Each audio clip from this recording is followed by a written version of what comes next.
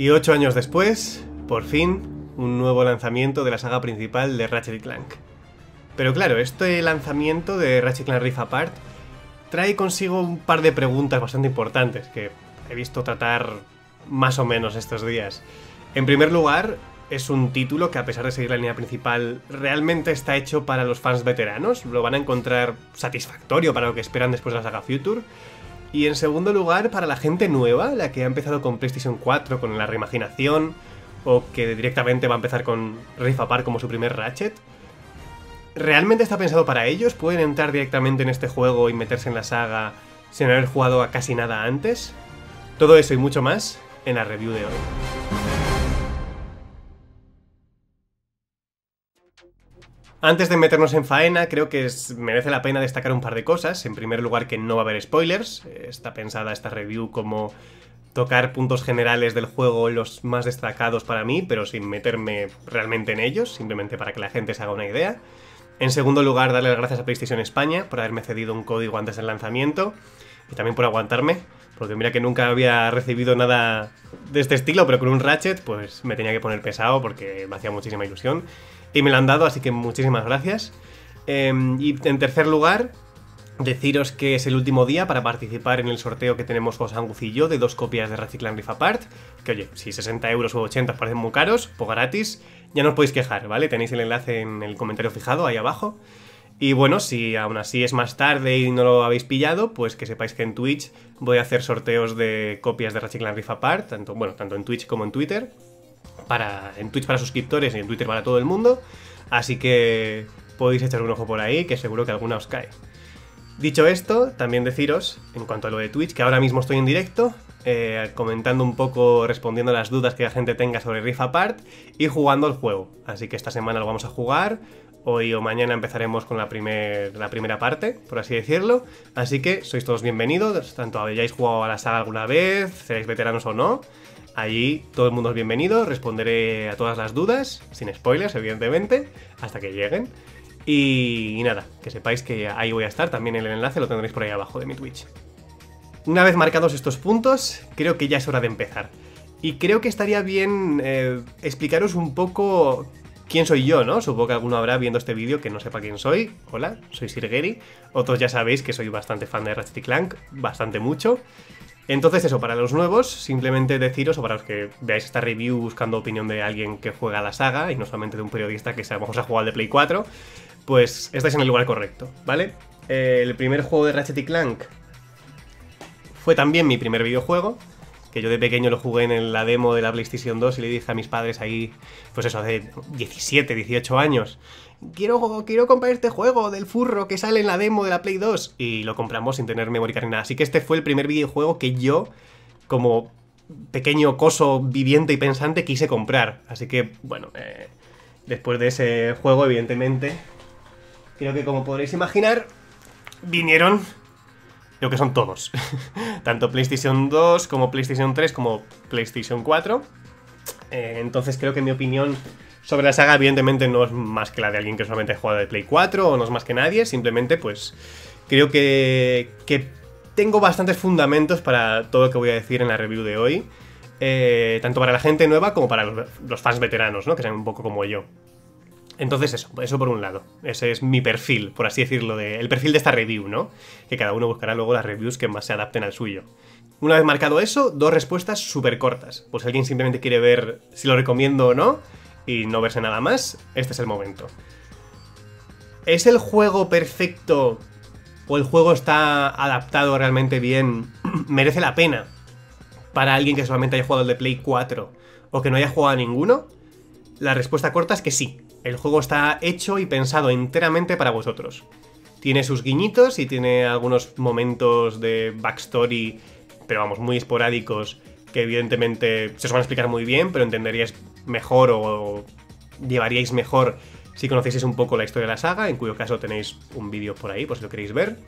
Pero vamos, o sea, podéis jugarlo perfectamente sin haber jugado ningún juego de la saga. Y si habéis jugado de Play 4, eh, os va a encantar. O sea, es muchísimo mejor que el de Play 4. Así que eso, si os gusta el gameplay súper dinámico, eh, movido, una historia graciosa que no molesta, sino que suma y que es bastante eh, divertida, es vuestro juego. Si tenéis una Play 5 y nunca habéis probado esta saga o habéis jugado de PlayStation 4, pa'lante, os va a encantar. Y en segundo lugar, llega la gente, ¿no? Más parecida a mí, los veteranos. ¿Es el juego que llevábamos 8 años esperando? ¿Es el juego que continúa realmente la saga Future, toda la historia que se, se puso en PlayStation 3? Pues sí y no.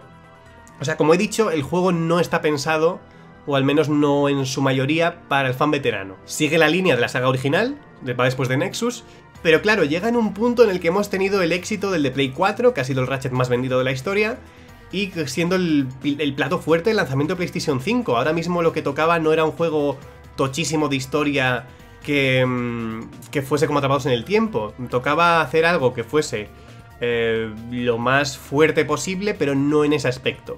Y creo que eso lo vais a notar. Es el mejor Ratchet Clank seguramente en el resto, en eh, planetas, gameplay, eh, dinamismo en el combate, incluso casi humor, será de los Ratchet en los que más me he reído.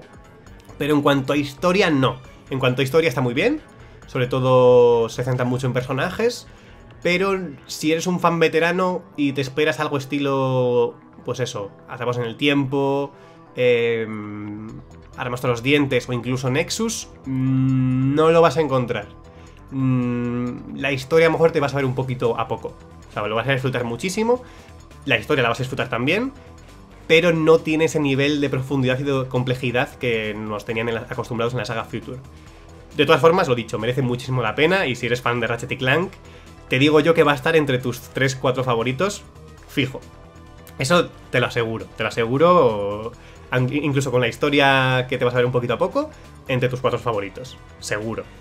Vale, y ahora sí, después de despedir a la gente que simplemente quisiese saber si lo recomiendo o no, la respuesta sí, tanto si eres nuevo como veterano, aunque en diferentes maneras comienzo a hablar un poco de los puntos que yo considero que hay que destacar de, este juego, ¿vale? Estarán supongo que remarcados en la barra de reproducción, por si queréis ir a alguno concreto, si queréis solamente ver el gameplay. Bueno, verlo, no voy a enseñar nada, simplemente queréis saber mi opinión del gameplay.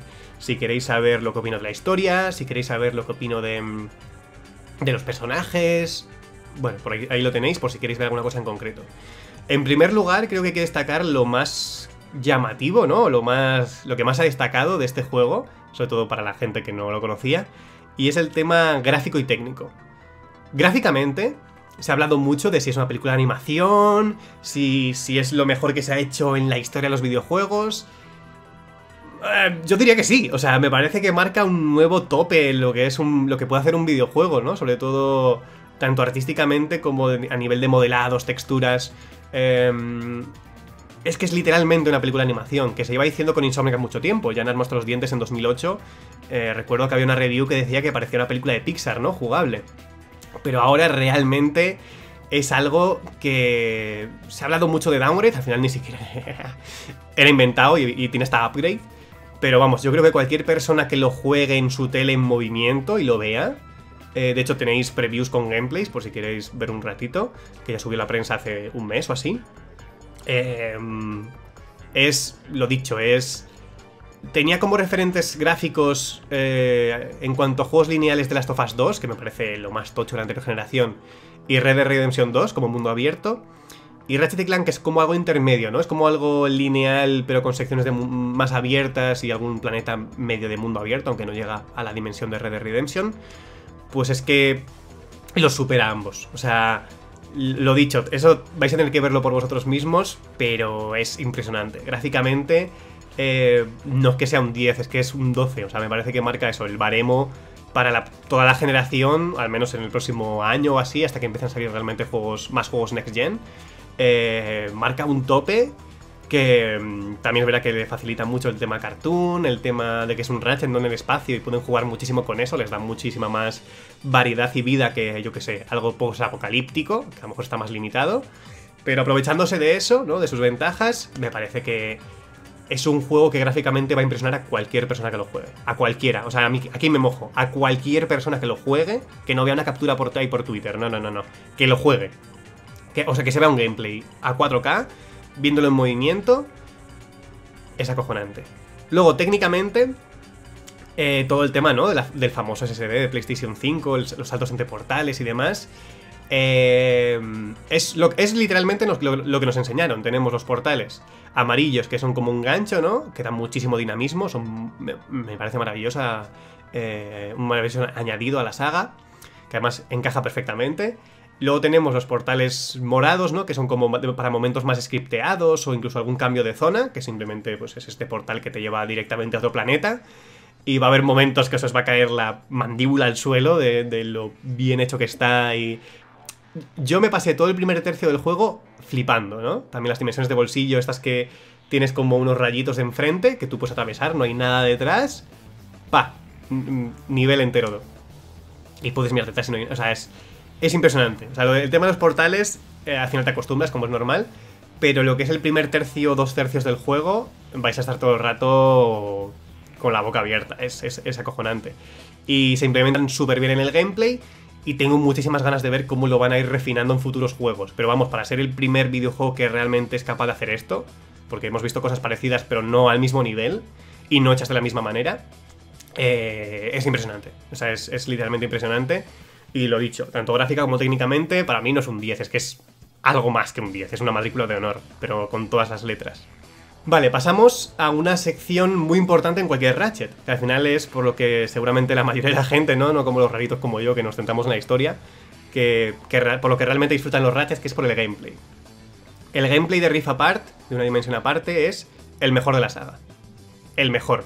O sea, pero además ya el de Play 4 en cuanto a gameplay era el más dinámico y se veía muy bien. Este le da mi vueltas al de PlayStation 4. Es el, es el juego con el... Es que es, un ritmo, es un... Cuando estás metido ahí empiezas a enlazar movimientos, el tema del dash nuevo, las armas nuevas, cómo se complementa todo. El gameplay y el gameplay es una pasada. Es eso, para mí es el mejor de la saga con diferencia. Y, creo que es muy, muy satisfactorio. Muy, muy satisfactorio. Eh, las armas, evidentemente, son pues armas, ¿no? De, como de cualquier Ratchet, que tienen su toque humorístico, ¿no? Sobre todo cuando te las venden. Eh, son todas sorprendentemente útiles. Y algo que, que ya noté en los primeros trailers y que se me ha confirmado, es que tienen relativa poca munición. Por lo tanto, esto te anima mucho a algo que ya era parte de la saga, que es el tema de ir alternando armas, seguir combinándolas para primero, por ejemplo, usar una que estunea, luego, por ejemplo, usar otra que te va a ayudar eh, dándote apoyo, y luego ya tú con una eh, meterles de leches.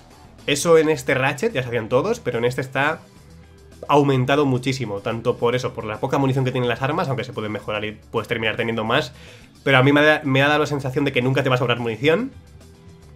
Y luego, pues eso, como eh, está todo muy bien diseñado, está todo muy bien diseñado de cara a eso, a ir alternando, no ceñirte a un, solo arma, aunque ya eso es parte de la saga, ¿no? Con el sistema de mejoras, pero eso todavía más la selección rápida que, tenemos desde hace tiempo. Eh, el gameplay es lo más divertido, lo más divertido del juego es porque mucha gente se enamoró de esta saga y creo que este juego, si no les ha terminado de enamorar los anteriores, este, vamos, les va a agarrar el corazón, se lo va a llevar para su casa y no lo va a soltar en 50 años. Es, increíble. Luego en el tema de las armas también tenemos, pues oye, el tema del mando de PlayStation 5, ¿no? De los gatillos. Bueno, la vibración HD es la leche, pero bueno, sin más, un añadido que yo que sé, notas los pasos de Ratchet, notas cuando conviertes a los enemigos en hielo. Bueno, está muy bien, pero Realmente lo que me parece revolucionario es cómo se hace el tema de las armas, ¿no? De que tenemos el gatillo áptico, si pulsamos a la mitad es un tipo de disparo, o es apuntado, o es un efecto secundario, o la mitad del cargador, y si, apuntamos, y si disparamos del todo, se, pues ya disparamos, ¿no? Y luego tenemos un, el disparo potente o lo que sea. Me parece que muchos juegos van a tomar esta referencia. No juego Returnal, que sé que también tiene varios tipos de disparo con el gatillo áptico. No sé si lo implementa igual, diferente. Supongo que el Ratchet lo hará a su manera pero creo sinceramente que va a ser algo que vamos a ver mucho durante esta generación, al menos en los de Play 5, ¿no? que son los que tienen gatillo áptico, que yo sepa, y, que es muy, muy útil, eh, mucho más cómodo que apuntar con uno y disparar con otro, sobre todo. Eh, y me parece eso, que van a marcar un antes y un después con muchos juegos que van a adoptar este tipo de, de mecánica, ¿no? De manera de llevar el gameplay en sus videojuegos. Luego, Pasando un poco de las armas, pero manteniéndonos en el tema del movimiento, tenemos la nueva incorporación del Dash. El Dash, que es este. El Dash fantasma, ¿no? Que se. es como un pequeño parry que, que nos sirve para movernos un poco más lejos, ¿no? Eh, me parece que está implementado también a la perfección. No, al, principio cuando os lo den, ¿vale? Si lo jugáis, vais a pensar, ¡buah, está rotísimo! O sea, yo me muevo, le doy al círculo, me muevo un poquitín, eh, no mucho, pero me muevo, esquivo lo que sea y es que no me tocan. Sí no. Al principio vas a pensar que está rotísimo y al principio te va a parecer que está rotísimo, pero según vayas jugando, vaya viendo muchos más enemigos, vaya viendo más ataques en pantalla, vayas consiguiendo más armas, ¿no? Que es de lo que hemos hablado antes, vas a ver que realmente no no está tan roto como pensaba. Yo pensaba al principio que iba a sustituir un poco, ¿no? Al, en Ratchet Clank siempre es moverse lateralmente y saltar, ¿no? Para esquivar eh, las balas. Y yo pensaba que lo, iba a sustituir, pero no, no, no, no, no. Se complementa perfectamente, porque al final el dash, que es, que es como una especie de parry, por así decirlo, eh, vale, te sirve para esquivar ataques, pero tampoco dura mucho, tiene un cooldown, tampoco te mueves muchísimo, entonces como lo hagas medio milisegundo antes de tiempo, la hostia te la vas a comer igual. Como lo hagas eh, con algunas armas, pues vas a o disparar menos, porque no puedes disparar mientras estás con el dash, mientras sí puedes disparar mientras saltas, eh, o directamente vas a perder todo lo que has cargado del arma, por así decirlo. Con algunas armas es muy notorio, muy notorio. Entonces al final eh, se complementa muy bien con el salto, al final no sustituye al salto. Lo que vas a hacer va a ser disparar todo lo posible esquivando, saltando, y en algunos momentos concretos en los que necesites sí o sí, o hay un ataque que no te dé tiempo a esquivar, hacer el parry, hacer el, dash. Entonces me parece que se complementa muy bien y que además eh, hace eso, un, nivel de dinamismo que no hemos visto nunca en la saga. Eh, no sé, lo lleva a otro nivel, lleva el gameplay a otro nivel. Eh, es muy divertido y es muy exigente a veces. Esto hace que Claro, como tienes un parry, tienes, ¿no? El, tema de... Lo estoy llamando parry, sé que no es exactamente un parry, ¿no? Es un dash. Pero bueno, es que en mi mente medio lo he asimilado como un parry. Em, vale, sí, eh, tú puedes eh, usarlo, pero contra muchos enemigos no te va a servir.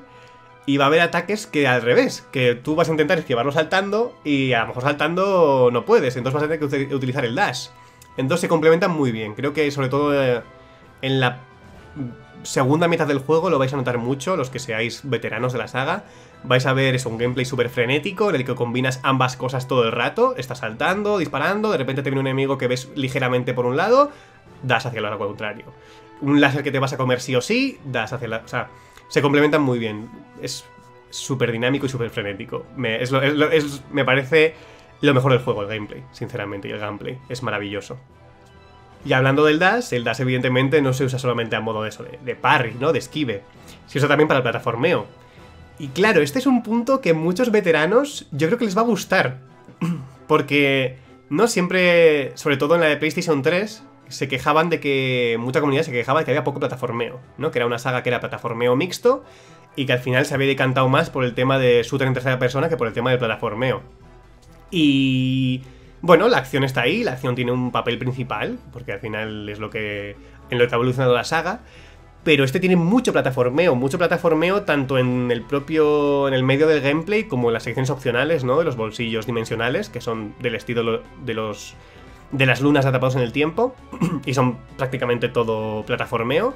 Entonces yo creo que si eres de los que pens em, si eres de los que le gustaba más la parte de plataformeo de los Ratchets, sobre todo la, trilogía original, creo que este lo vas a disfrutar mucho, porque creo que lo recupera en gran medida, y en gran medida creo que también es gracias al dash, al tema de poder saltar entre paredes, el tema de las grietas. Eh, yo creo que tiene mucho más plataformeo, muy bien hilado, y... Y eso, que, si realmente te gustaba más la parte plataformera que shooter, vas a disfrutar mucho de este juego. No pierde la parte de shooter y la parte plataformera la, la, la mejora, la pule y la aumenta muchísimo. Sobre todo eso, gracias al dash. Estoy grabando esto después de grabar lo que es todo el vídeo, así que no sé, lo meteré por algún sitio por el medio donde cuadre mejor. Pero es que se me olvidó hablar de la dificultad.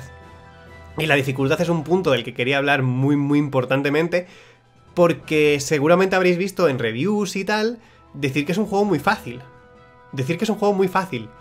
Eh, Sinceramente a mí no me lo parece, o sea, lo que he dicho en la parte del gameplay de que me parece de hecho bastante exigente en algunos puntos, sobre todo de, cara al final, es totalmente cierto. Eh, y hombre, ¿qué quieres que te diga? Pero yo no me creo que un, un periodista que haya jugado solamente el de Play 4 o que no le haya, dado tanta caña a la saga como yo, haya jugado mejor que yo a Rifa Party y se le haya hecho más fácil.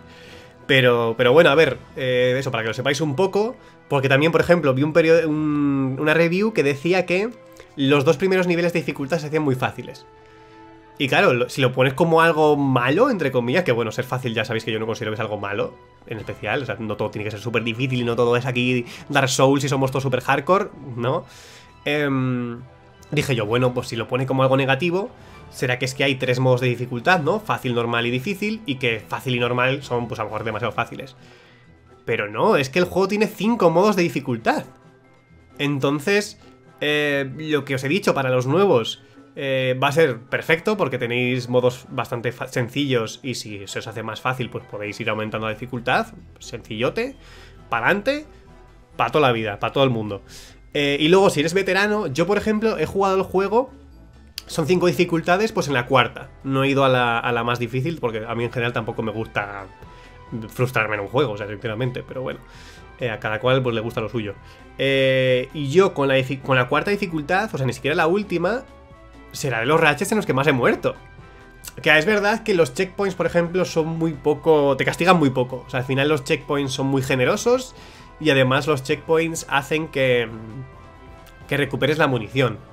Así que, bueno, es verdad que eso, los checkpoints no te castigan mucho, morir no se te castiga mucho, pero vamos, que, que yo he habido niveles que he tenido que reintentar, es fácil 3-4 veces, bosses en los que he muerto unas cuantas veces, una vez o dos o por ahí, arenas que se me han complicado, y el boss final me ha costado bastante. En la cuarta dificultad, entonces eso, eh, no quiero meterme mucho tampoco, porque cada uno, pues yo que sé, la dificultad al final es subjetiva y cada uno, pues dependiendo de su habilidad, de lo que le guste esta saga, bueno, en cualquier saga, en cualquier videojuego, pues al final eso, la dificultad es subjetiva y lo que es fácil para unos es muy difícil para otros. Pero eso, quería destacar que, que, que vamos, al menos por mi parte, no os penséis que el juego es fácil. Al menos no en las dificultades altas. Entonces, si eres veterano, yo te recomendaría que juegues en la, en la cuarta o en la quinta, ¿no? Dependiendo de cuánto dificultad quieras. Pero que no te pienses que el juego es fácil. Que yo será de los ratchets en los que más he muerto. Y, os recuerdo que. Que eso. No me he jugado a pocos. O sea, a ver, no está a nivel de roto, de dificultad, de que es difícil como el, el Ratchet Clan 2. Pero vamos, eh. Vamos, o sea, eso, yo, flipo que gente que solamente se juega de Play 4, que el de Play 4 sí que es muy fácil, digan que este es muy fácil. Bueno, si te has jugado en, en fácil, pues claro, pues en fácil, pero no sé, si te has jugado en fácil o sea, si te lo has jugado en fácil, no pongas luego como un punto negativo que es fácil, ¿no? Digo, digo yo, si, si vas a ponerlo como un punto negativo, juégate en las dificultades más altas. No sé, bueno, eso. Eh, el sistema de checkpoints, eso, no es muy restrictivo, así que, por ejemplo, a mí me gustaría bastante que sacasen en una futura actualización, no un modo permadez, en plan el de Last of Us, porque a lo mejor es una burrada, pero sí a lo mejor un modo que te haga repetir más, en plan que te quite checkpoints. Eso estaría, sería un, se agradecería bastante de cara a añadir dificultad. Pero quitando eso, no, no, no, es un... Vamos, a mí no me parece un juego fácil y lo dicho, me parece que es un juego bastante exigente eh, a nivel de habilidad en muchos momentos, pero bueno. Resumen. No me parece un juego fácil, por mucho que la prensa haya dicho que sí. Tampoco es un juego súper difícil. Eh, y de los 5 modos de dificultad, pues si eres nuevo seguramente te interesarán los tres primeros. Y si eres fan veterano seguramente te interesarán los dos últimos. Pero ya está, poquito más. Esto, que se me había olvidado comentarlo y, creo que es muy importante. Porque claro, están diciendo que es muy fácil y, a mí no me ha parecido para nada. Y así llego a la hora y monetizo mejor. nada de broma. Pero, pero eso, nada, quería comentarlo porque me, parecería un punto, me parecía un punto muy importante. Y ahí lo tenéis, no, no sé qué punto irá ahora después, pero bueno, os lo dejo ahí. Espero que disfrutéis del vídeo. Evidentemente, todo el tema del plataformeo y el gameplay están integrados perfectamente en lo que es el diseño de niveles. El diseño de niveles de este Ratchet también me parece el mejor de la saga, sinceramente. El más natural. Es muy... me ha recordado en ese sentido muy a The Last of Us. Eh, The Last of Us es más lineal, ¿no? Pero tú tienes niveles que son muy orgánicos, muy naturales. No sientes... Están muy bien diseñados para que en ningún momento realmente tú jugando sientas que, que estás siguiendo un pasillo, ¿no? Que al final pues es un juego lineal, es lo que tiene. Y en este Ratchet eh, está muy bien hecho, son los mapas... Los mapas no son tan abiertos como parecían los trailers o como yo pensaba de los trailers. No tienen tantísimas rutas ni nada. Siguen siendo pues en un esquema clásico de Ratchet y Clank, en el que tenemos pues 3-4 rutas como mucho en un planeta, más zonas abiertas, o planetas enteramente abiertos. Pero lo que sí son, son mucho más naturales, mucho más orgánicas, mucho más amplias, y al final realmente sientes que, pues eso, que no estás en un juego lineal, que ves un camino, a lo mejor el camino te lleva realmente al mismo sitio, pero está muy, muy bien diseñado. Eh, y los planetas son... Pues se ha visto en los trailers, los planetas son impresionantes. Eh, y unos cuantos que nos han visto, evidentemente, eh, van a hacer las delicias de, de, mucha gente que a lo mejor, no sé, esperaba... Mm, los planetas son, pues, muy gráficamente muy espectaculares, como los de Play 4 pero evidentemente llevados a, una, a un punto superior más similar a la Atrapados en el Tiempo, Armas hasta los dientes. Son muy entre ambas, pero mucho más grandes, mucho más abiertos y la, exploración es maravillosa, porque además hay muchísimos coleccionables. yo creo que, hombre, no me he puesto a contar, pero será seguramente el Ratchet Clank que más coleccionables tiene. Porque al final con el cambio tenemos los de oro de siempre, tenemos unos ositos por ahí, tenemos... Bueno, los puntos de habilidad no han vuelto, pero sí que hay algunos en modo trofeos, lo cual no, no, es algo que me convenza mucho, este nuevo sistema, porque se siente como fuera del juego. Pero bueno, estar están ahí. Y luego tenemos también las... Bueno, hay unos infobots que, que encima cuentan historia. Hay otro coleccionable más que cuenta historia, que es en los fans veteranos. Os va, os va a reventar la cabeza cuando lo veáis. Eh, y luego tenemos las piezas de armadura que he visto a gente pensando que no son coleccionables o tratándolos como que no son coleccionables, pero es que son coleccionables. Al final, en este Ratchet han decidido no ir con el típico, lo que, lo que habíamos tenido toda la vida, ¿no? De vendedor de armaduras, que te da esta armadura, la compras y es un 20% de daño menos. No, aquí vas encontrando diferentes piezas, cada pieza es de un estilo, además se les puede cambiar el color, que yo no he visto a nadie mencionarlo y me pareció maravilloso cuando lo vi, que tú puedes cambiar el color de las, al menos de algunas armaduras, no sé si de todas.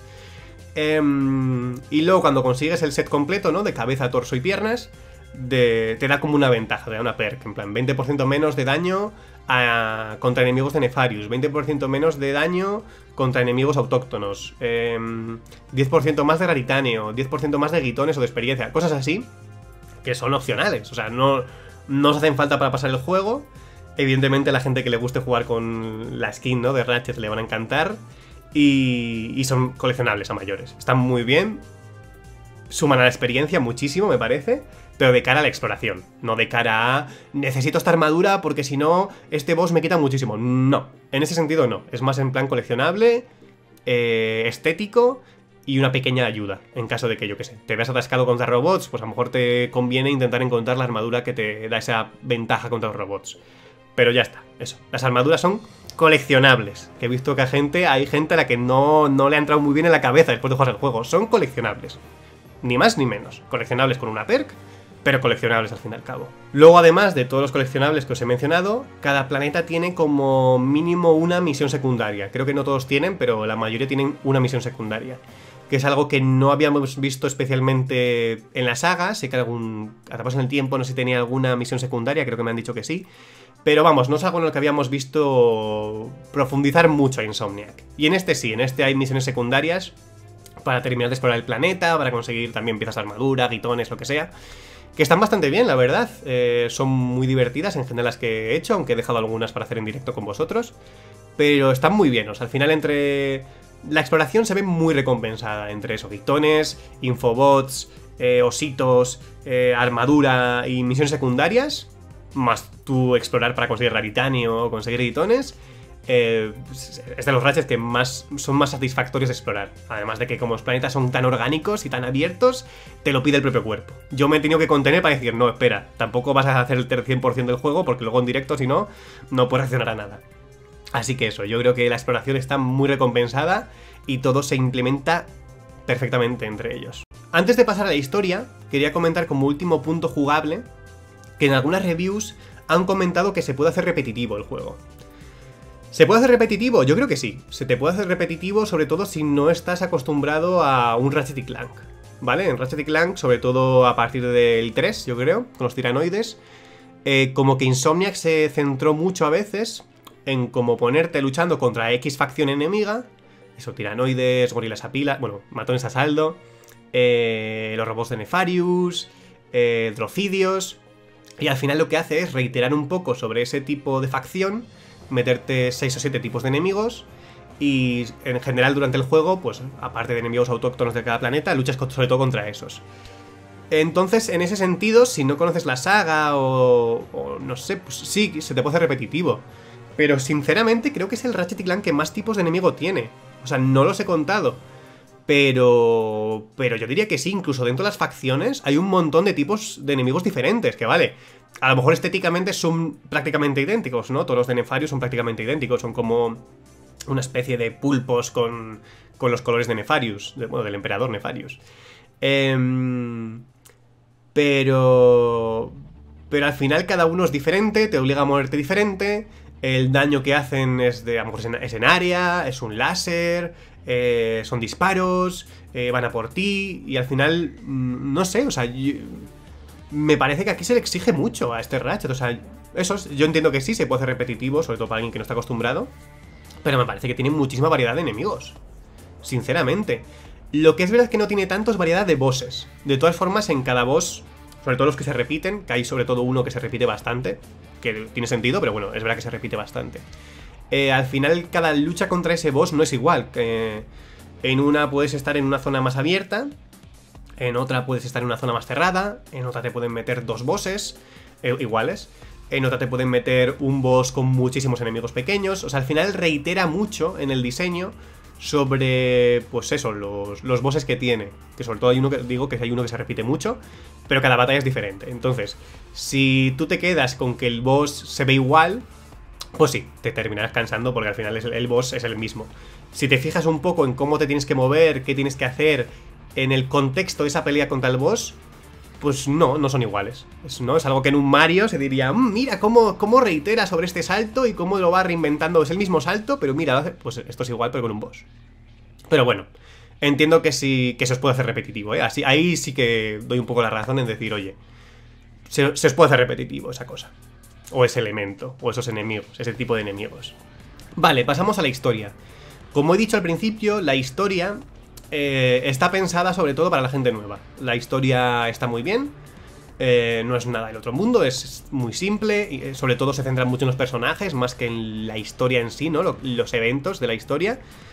y yo creo que sobre todo es por eso, porque es un juego que no está pensado para decir, buah, pedazo de historia te vamos a meter, que son atrapados en el tiempo, que es un a la los dientes, en el que sabemos que la gente se ha jugado los 3-4 anteriores, y podemos coger a Ratchet y meterle 300 conflictos, a Clank, ponerlos entre ellos, meter a este personaje que la gente conoce para cambiarle X cosas. No, no, no. Mm, ahí la gente nueva yo creo que lo va a disfrutar mucho y se va a sentir muy acompañada por la historia, aunque tampoco creo que sea una locura. Y a eso, a lo mejor la gente veterana, como he dicho al principio, se va a sentir un poco... le va a salir un poco a poco. Pero bueno, la historia está muy bien, me recuerda mucho al estilo de la saga original. De hecho, incluso con el plataformeo que he dicho que está muy metido en el medio del gameplay. Eh, me recuerda mucho a la saga original, a lo mejor más a Ratchet Clank 2, que no tiene una historia muy... No, no tiene una historia sobresaliente precisamente, es de notable, o es, pues bueno, porque no molesta, acompaña muy bien y hace las cosas muy bien en lo que intenta. Pero eso no es una saga Future, no es la historia que tenemos en Atrapados en el Tiempo.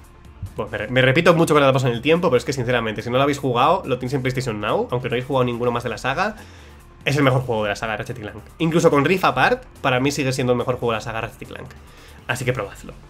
Entonces eso, la historia está muy bien, los personajes nuevos son súper carismáticos, además es muy interesante cómo han abordado el tema de las diferentes dimensiones, ¿no? De los em, equivalentes dimensionales.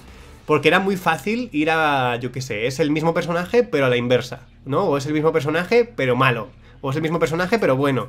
Y no, al final no han hecho esos. Han ido más allá y cada personaje, sin entrar en spoilers y sin entrar en ningún personaje en concreto, Además, porque estoy diciendo que es que no son, no son Sota Caballo y Rey, así que es mucho más difícil que os spoile por ahí sin deciros nada en concreto. Cada personaje se ha visto cambiado, se ve modificado en función al contexto que tiene en esa dimensión, ¿vale? En la dimensión de Rivet. Eh, y me parece que da un juego muy interesante, sobre todo que a veces no te esperas. Y, que los, los fans nuevos no se van a perder, ¿no? Porque al final para ellos van a ser medio personajes nuevos. Y los fans veteranos eh, va a ser totalmente una sorpresa. Va a ser cosas que nos esperan, que les van a gustar mucho, porque hay muchísimas referencias a otros juegos de la saga. En ese sentido me recuerda un poco a Endgame. No en el sentido de ser el final, ¿no? Ni nada por el estilo, sino en el estilo de que tiene un montón de referencias a juegos anteriores. También porque reutiliza muchos assets, por ejemplo, de. o muchos momentos de la, del PlayStation 4. Yo creo también para que la gente nueva se sienta muy. como en casa, ¿no? Que no se aliene nada más empezar. Pero. Pero sí, yo creo que los veteranos. A lo mejor eso, vuestro principal interés no es la historia. ¿No? La historia general. Pero vais a encontrar muchísimas cosas que os van a sacar más de una sonrisa y os van a gustar mucho. Y en los personajes hay mucho filón para ello. Y evidentemente como personaje más importante nuevo está Rivet. Rivet además como no personaje jugable, ¿no? Por primera vez en casi 20 años de la saga. Y... Rivet es un personaje maravilloso. Sobre todo eso, no en cuanto a historia, pero en cuanto a lo que se desarrolla como personaje, lo que se expone sobre la mesa, que es sobre todo lo que va la historia de este juego. Está muy bien hecho, está muy bien llevado, está muy bien hilado. Luego, en cuanto a gameplay, que esto ya lo explicó Insomnia que hace un montón, pero veo que hay gente que no lo sabe o le sigue pareciendo mal. Y es que se juega exactamente igual a Ratchet, ¿vale? Es, como. Realmente es como una skin de Ratchet. No narrativamente, de hecho, en este juego hay muchísimas conversaciones durante, durante el gameplay. Pero conversaciones de verdad, conversaciones que realmente te van a interesar, no conversaciones del estilo del de PlayStation 4, de tienes mucho dinero, ayuda a la economía, compra un pixelizador. No, esa mierda no ha vuelto. ¿Vale? Esa mierda no ha vuelto. Son conversaciones de Rivet y Clank hablando de lo que sienten, em, de lo que ha pasado antes, de lo que pueden hacer, de otros personajes. Eh, está muy bien llevado. Aporta muchísimo la narrativa, muchísimo la exposición. Em, y eso, al final, como la historia va más sobre los personajes que realmente sobre lo que está pasando, creo que aporta muchísimo. De todas formas, lo dicho, Rivet se juega exactamente igual que Ratchet. Es verdad, estaba hablando de eso y me, he ido por las ramas. Eh, esto a mucha gente no le ha gustado, le ha puesto como algo negativo, ¿no? En plan, joder, ¿por qué Rivet se juega exactamente igual que Ratchet? ¿Por qué hasta comparten armas y si mejoro el arma con uno, se mejora con otro? Primero se explica al principio del juego, así que las reviews de prensa que he visto que, decían como que no le encontraban sentido. Eh, escucha los diálogos del juego, no lo sé. Em, y luego os voy a decir la razón, ¿vale? O sea, yo os, lo he dicho, eso, se juegan exactamente igual. Si no os gusta, no os va a gustar. Y si os gusta porque en el fondo pues queréis jugar con el estilo Ratchet, pues va a ser estilo Ratchet todo el rato. ¿Por qué se ha hecho así? Insomniac ha dicho que probaron hacer que Rivet y Ratchet fuesen diferentes, se jugasen diferentes. ¿Qué pasa? que al final no querían que el jugador sintiese que prefería jugar con Rivet o con Ratchet, porque tú durante el juego puedes intercambiar entre, entre ambos como, cuando quieras. Va a haber puntos de historia que te requieren llegar hasta, este, hasta ese punto con toda la historia de ambos completada, pero por así decirlo, cada planeta pertenece, a, pertenece entre comillas a uno. Hay planetas que solamente juegas con Ratchet, hay planetas que solamente juegas con Rivet. Y son historias medio paralelas, interconectadas, y vas avanzando con ambas. Entonces eso, al final se ha hecho no solamente para que los jugadores nuevos no se pierdan mucho al cambiar de personaje, que eso podría pasar, sino sobre todo por eso, porque no querían que el jugador sintiese de que pues no, querían que sintiese que solamente quería jugar a los planetas de Rivet, ¿no? Que, me toca con Ratchet que es más lento, o que sus armas me gustan menos. Entonces no querían eso. Yo, yo lo respeto, lo entiendo. Además, como espero que futuro Game Dev lo, lo, entiendo perfectamente, me parece una razón totalmente legítima. Dicho esto, entiendo también la crítica. Entiendo que decir que metes un personaje nuevo y al final se juega igual, pues que es un poco, a lo mejor un poco decepcionante para algunos también lo entiendo. Por eso creo que es importante mencionároslo para que no vayáis de nuevas. En plan, cuando alternéis entre Ratchet y Rivet, vais a ver que se juega exactamente igual, que comparten armas, comparten habilidades, todo. ¿Vale? Yo os doy la razón. Además, como son, se supone que equivalentes dimensionales, no son el mismo personaje, que es lo que he dicho antes, no son el mismo personaje bueno y malo, en chico y chica, o cosas así. No, no. Son equivalentes dimensionales, pero lo que es en personaje poco tienen que ver uno con el otro. ¿Vale? Más allá que compartan rasgos, ¿no? O, definiciones entre ambos, poco tienen que ver. Entonces eso, me parece un punto importante destacar, ¿vale? Por si alguien pensaba que jugar con Rivet iba a ser martillazos por doquier, pues en el fondo es como una llave. Son iguales. Antes de, terminar, eh, pues bueno, quiero comentar también a la gente veterana que sé que me está viendo, que tienen seguramente en todo lo que he ido diciendo, ¿no? Es como, vale, este juego tiene pinta de ser muy divertido, tiene pinta de estar súper bien diseñado, tiene pinta de ser un must, ¿no? Si tengo una Play 5. Tiene pinta de que los nuevos lo van a disfrutar muchísimo.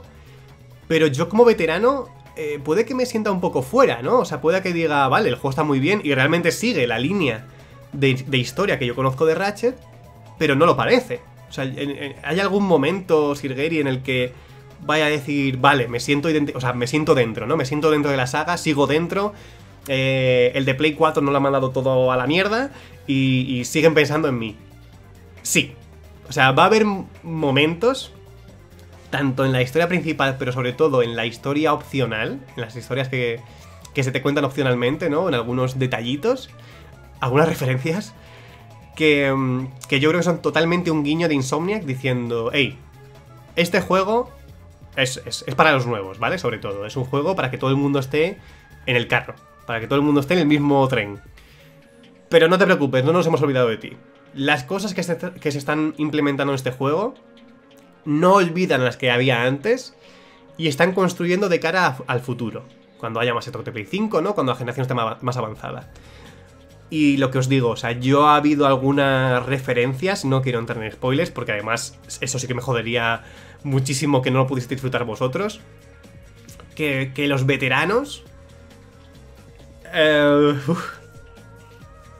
se os va a quedar una cara se os va a quedar un careto, se, os vais a flipar. Entonces sí, no os preocupéis por eso, eh, lo vais a disfrutar muchísimo en el área de gameplay, en el área de diseño, en el área de los planetas, en lo que es un Ratchet. Y aunque en historia a lo mejor no tanto, va a haber unas cuantas referencias que vais a decir... Madre mía, quiero el siguiente.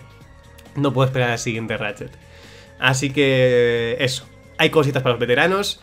Eh, y aunque a veces te puedas sentir un poquito fuera de la historia, ¿no? Como un poco en plan, bueno, esto como que me sale a poco, son cosas que ya medio he visto, eh, que es lo que me ha pasado a mí, ¿vale? Sería mejor el punto así más... Eh, que del juego. Hay muchas cosas que os van a encantar y eso, que sobre todo os van a decir, hey, no te bajes del carro, estamos ahora con los nuevos porque es necesario, pero... Pero no nos hemos olvidado de ti y estamos poniendo piedras de cara al siguiente paso, ¿vale? Así que no saltéis este juego, si sois veteranos de la saga. No os lo saltéis, ya no, ya no solamente porque sea divertido, sino porque vais a ver cosas muy interesantes. Y de hecho, no solamente lo vais a notar la gente que busca, ¿no? Como yo, una historia del estilo de Saga Future, sino que la gente que vuestros favoritos son el 1, el 2 y el 3, como he dicho antes, tanto en, en algunas cosas del humor, en algunas cosas del plataformeo, ¿no? Que está mucho mejor implementado y mucho más, sobre todo mucho más.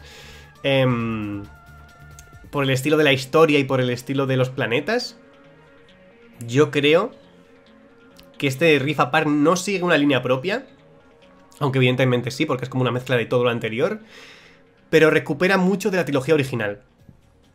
O sea, yo jugándolo, lo que he dicho, a mí realmente me ha recordado mucho a la trilogía original, sobre todo a Ratchet Clank 2, que es mi favorito, pero bueno, está a, todo, está a otro nivel, ¿eh? Para mí en mi corazoncito está a otro nivel. Pero, pero eso, entonces eh, recupera mucho de la saga original y creo que eso le va a gustar a mucha gente. Creo que por ahí mm, muchos se les va a caer la baba. Entonces, bueno, eh, sé que todo lo que he dicho es bueno. Realmente, a ver, lo, lo, he terminado ayer. Hoy estamos a 10. El juego sale mañana para vosotros, aunque la review saldrá, espero que hoy mismo, 10. Pero bueno, me lo terminé ayer. Entonces lo tengo un poco reciente, ya según vaya digiriendo un poco más lo que he visto, me lo rejuegue con vosotros y tal, a lo mejor veo otras cosas más negativas. De todas formas, los puntos negativos que he visto son sobre todo en cuanto a eso, a un poco el, que los jugadores veteranos se sientan un poquito fuera, ¿no? No solamente por la historia, sino porque hay otras decisiones un poco extrañas, que en parte entiendo, pero, pero no deja de hacerse un poco extraño, que es, pues, sobre todo, por ejemplo, dejar personajes clásicos fuera, que no están prácticamente en el juego o directamente no están ni se mencionan. Y claro, es como... Vale, entiendo que para la gente nueva, joder, meter más personajes que ya están establecidos es un lío de la hostia. Y es una sobrecarga de información brutal. Pero, eh, no sé, o sea, hay algunos personajes que parece que han desaparecido y que eran muy importantes en, las, en, en la saga Future y en la saga original. Y eso a mí como jugador veterano no me ha gustado. Entonces, bueno, ese es un punto negativo, ¿no? En plan, que si eres veterano de la historia y los te sabe a poco y vas a echar en falta a algunos personajes. Y luego otro punto negativo, aunque... Bueno, no, perdón. Un punto que vais a pensar que es muy negativo, pero que realmente no lo es tanto, es el tema de los bugs. ¿Vale? ¿El juego tiene bugs? Sí. ¿Tiene bugs súper importantes que te rompan la historia como algunas reviews dicen de craseos, eh, checkpoints que no saltan, misiones que no saltan? No. O sea, también es verdad que la prensa lo jugó hace una semana o hace dos, antes que yo. Eh, y que desde entonces, por ejemplo, ayer mismo se metió un parche. Y en día 1, mañana, va a haber otro parche. Así que yo al menos eh, ha habido algún bug, pero del estilo de, yo que sé, un NPC que está dentro de una puerta. Que bueno, o sea, son bugs que molestan un poquito, sobre todo porque el juego se ve tan bien que destacan muchísimo ese tipo de bugs. Pero vamos, no es relevante. Para lo que es jugarlo tú, no es, no relevante. Hay otros bugs, a lo mejor, de dos eh, NPCs que pues se mueven y chocan entre ellos y se quedan como un rato intentando caminar contra el otro. Puede haber bugs del estilo... Pues es que eso, o sea... Yo todo lo que me he encontrado... Hay unos cuantos, pero... Pero vamos, cosas que se van a pulir en... De aquí a dos semanas ya no van a estar. Así que que no van a afectar en, vuestra experiencia de juego. De todas formas, pues eso, yo también a lo mejor he tenido suerte. Y no me he encontrado ningún craseo, ni me he encontrado ningún ninguna misión que no me haya saltado, ni ningún checkpoint que no, que no consiguiese avanzar, ¿no? De él, algún trigger que no saltase. Puede ser que a vosotros sí os toque. Si os toca, pues... Pues yo que sé, mala suerte, eh, una pena, entiendo que os enfadéis, pero vamos, no es un juego, o sea, no es Cyberpunk. O sea, para nada, no es Cyberpunk. Los bugs que hay, eso, para mí han sido menores. Y en caso de haber alguno gordo, como la pasó a la prensa, pues seguramente en una semana se arreglen, porque son cosas pequeñitas. O sea, no es. No es que tú juegues al juego y tengas la sensación de que está roto, no. Va a haber algún punto de decir, ay, esto me molesta un poquito, joder, con lo bien que se veía y mira, este personaje está aquí tipo useando. Me encontré un robot tipo useando.